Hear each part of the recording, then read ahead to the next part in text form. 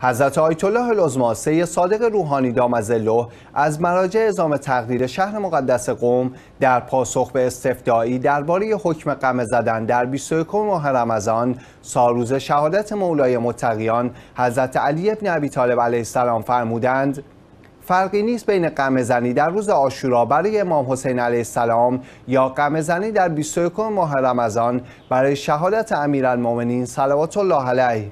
گفتنی است. حضرت آیت الله العظما روحانی از مراجع سنتی شیعه در ایران به شمار می رود که فتوا به استحباب و وجوب کفایی قم زنی صادر نمودند معظم الله تمامی مصادیق عزاداری را جایز دانسته و اعلام کردند قم زدن چنانچه موجب هلاکت نشود از بزرگترین شعائر و از مستحبات عکیده است. بلکه می‌توان گفت واجب کفایی است و وسیله ای از وسایل حسینی و دری از درهای کشتی نجات است.